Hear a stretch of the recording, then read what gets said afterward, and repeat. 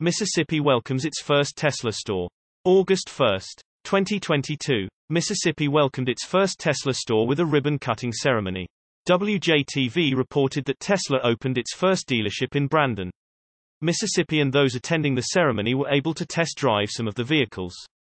The Mississippi Tesla store is a 25,000 square foot building that Mayor Butch Lee said wasn't a typical dealership. This is not a typical dealership. This is a build it and bring it to the consumer.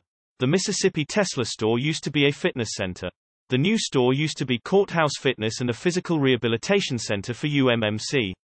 Local developer RCI LLC and Trihelm Properties have been working together to bring Tesla to Brandon.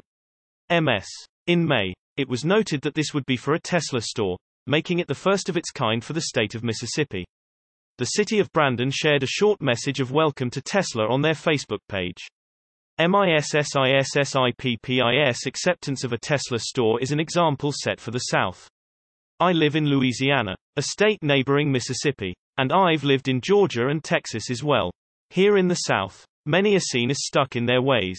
Things are much slower here. We take our time and have various versions of Southern accents. And some of our politics are not ideal. I don't know much about Mississippi and I've never lived there. But Louisiana is an oil state. So is Texas. I think Tesla's move to Texas will help its mission despite the criticism that Elon Musk being supportive of the Republican Party is bad for Tesla.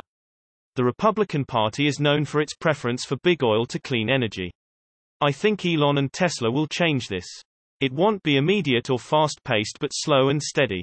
Hopefully. Other states such as my own will see the difference Tesla is making in Texas, and see how Mississippi embraced a Tesla store. And be more receptive to new ideas. Source reposted and summarized from Johnna Cride at Tesla RT. My take Let's give Mississippi a big welcome into the fold.